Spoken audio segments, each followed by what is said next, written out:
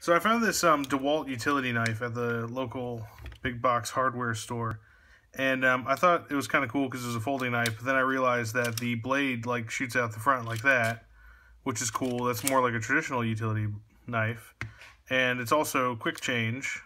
So you can change the blades with just this button, you know, like flip it around, get your sharp side, that type of thing going on. But um, one of the cool things about this too is that it's actually auto loading.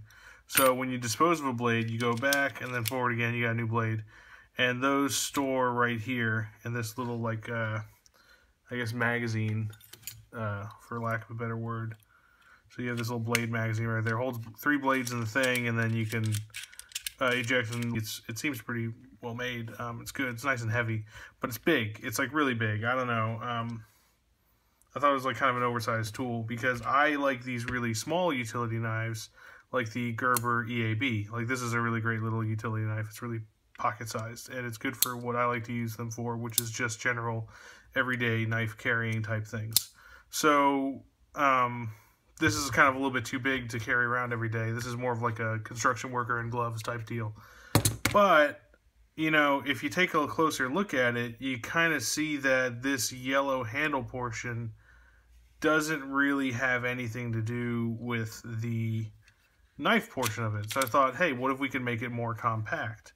So that's what I'm going to try and do. I haven't done this yet, so I don't really know if it's going to work, but let's just figure it out. Um, it's got these two T10 screws on here, and let's just take them out and see what this thing looks like. Ah, don't stab yourself.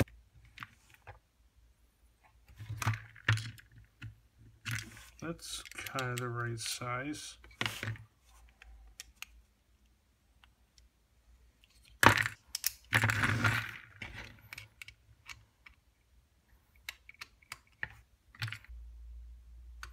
Come on. Mm. That side's stripped out.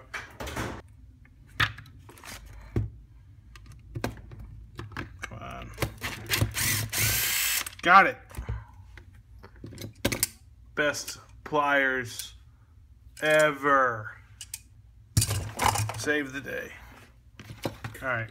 Get out of there, you son of a bitch. Alright. So this isn't quite what I was hoping for. Um, I was hoping these are just two threaded screws, but this is a, um, it's called a Chicago screw or a sex bolt. Um, technically you could stop right there and you would have like a much smaller utility knife. Um, so yeah, that'd be cool if we can use this belt clip. Actually just might work. We can use it like that maybe without cutting it. Um, I kind of chowdered up this screw. Um, it's a little bit longer than we need at this point. Um, let me see if I have a replacement. Okay, so I do happen to have replacement um, Chicago screws because I use them for my leatherworking projects um, when I do those, which I haven't done one in a while. Like if I was to cut this this bit off and just use the belt clip like without it by cutting that off, it would want to spin around. But since it kind of lines up with that hole, we might be able to use this screw if it's long enough to tie that belt clip in. Is it tightening? No. I don't think it's long enough to pull that off. Hmm. What can we do?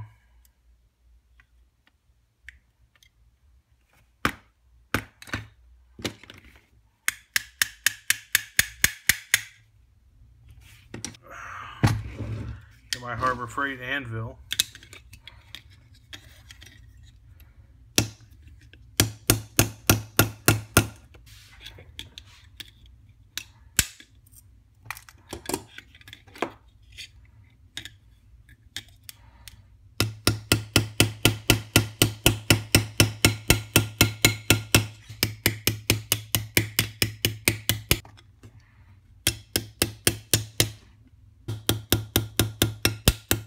All right, so it's not like the prettiest peen in the world, but I managed to, um, since once I did this, the screw wasn't long enough to reach the threads inside to get to where uh, that screw was supposed to go.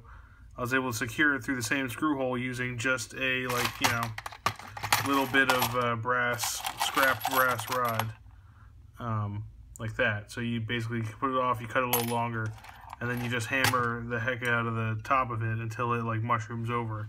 That's gonna hold it down like a nail or like a fast. So knife works. Belt clip works. Not going anywhere. That belt clip is now fully functional on a much smaller pack. Um, we took a knife that was, you know, this long, and we discarded the not very useful handle. I mean, the handle is useful for like leverage and hold on to, but we made something much smaller. Um, and so now we have a really small knife, and it is quick change blades. It's got a nice little bit of weight to it. It's a little bit slippery, so you know, don't go crazy like with this cutting out carpet or demoing a house or something like that. Um, you know, let's stick to like tasks that a knife this size is suited for. All right, so there you go. You have a nice little hack for this uh, DeWalt utility blade. So go ahead, feel free to do this yourself. Find this blade, and uh, if you have the tools on hand and a little bit of perseverance, you can open it up and make this little pocket-sized belt clip. All right, there you go.